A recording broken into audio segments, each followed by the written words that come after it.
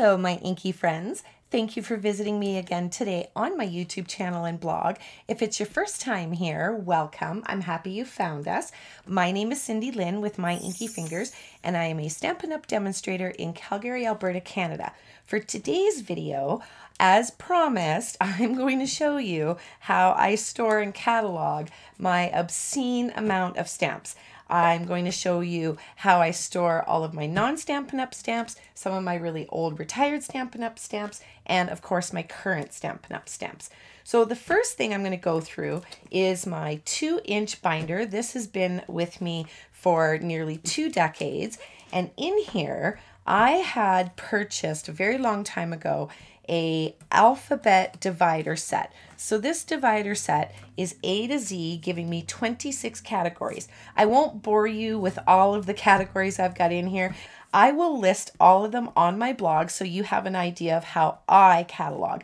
Now, for me, this works because when I need a certain sentiment or a certain type of stamp, a certain occasion, I can go right to here. I can go to Love and Hearts and Valentine. I can go to Christmas and Winter, Halloween, what have you, open up that divider and find what I need in the shortest amount of time possible. So what I do is I'm going to actually open it up to the very first category and I've pulled this out of the page protector, but I'm going to show you the page protector first. Your page protectors are wider than the actual pages that your letters come on for your dividers.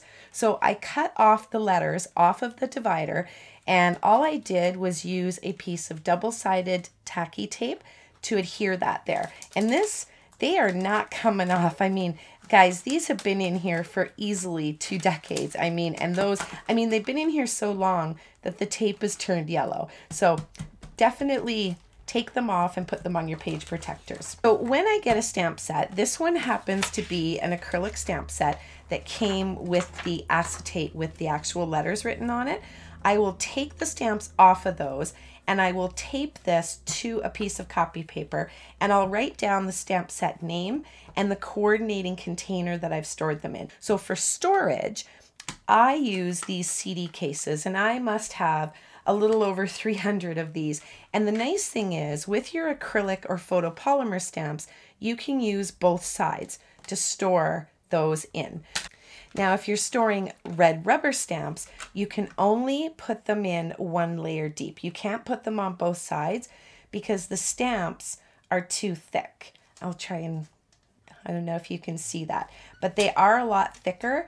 Therefore, if you were to put stamps on both sides, your case wouldn't close. Now, when you get your case, it comes with a black plastic insert. Just put something underneath it, pop it right out easy peasy, and then you can store your stamps in it.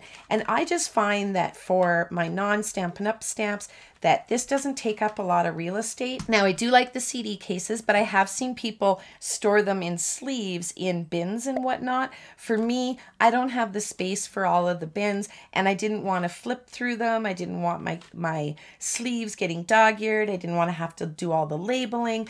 The only labeling I had to do was with a Sharpie marker and write the actual CD case number on the spine and the Sharpie marker will stay there for forever and ever. So this works for me.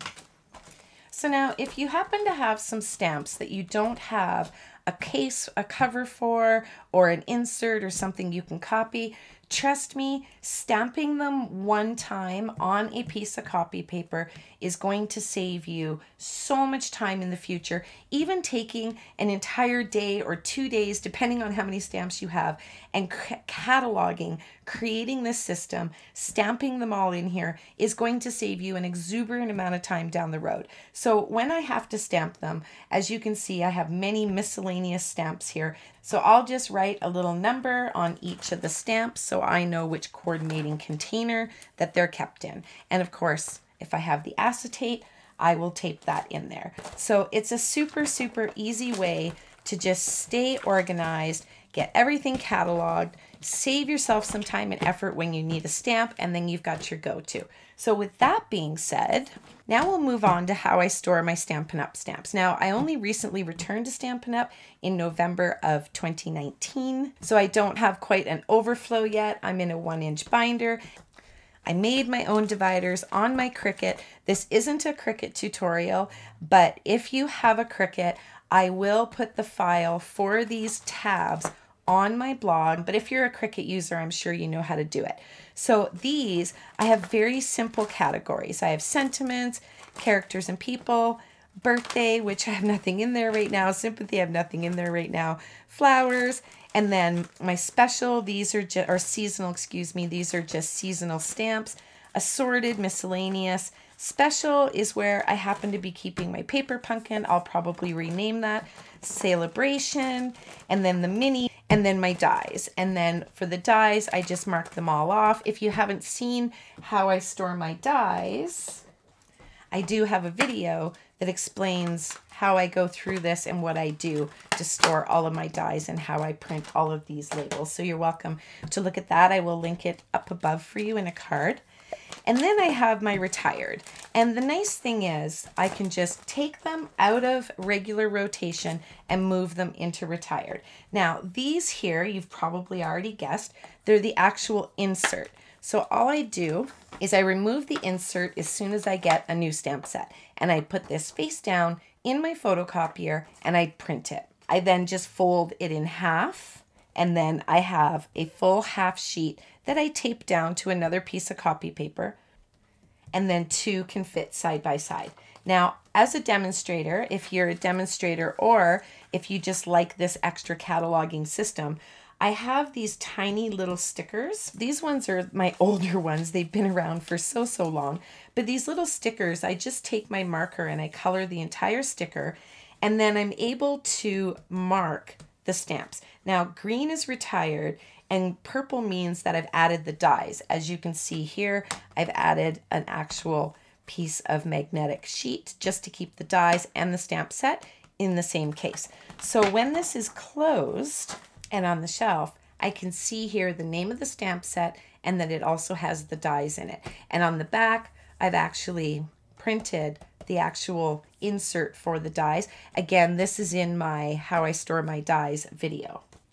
Now, when you begin your cataloging, you may not have all of these different inserts to copy, and that's okay because again, you can just stamp them all one time, write the stamp set, and the coordinating case that they're in. Now, a lot of my old Stampin' Up! stamps, Fishy Friends, Rough Day, these are all in CD cases.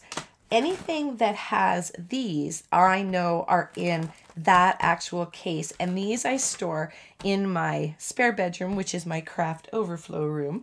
And they're all alphabetical.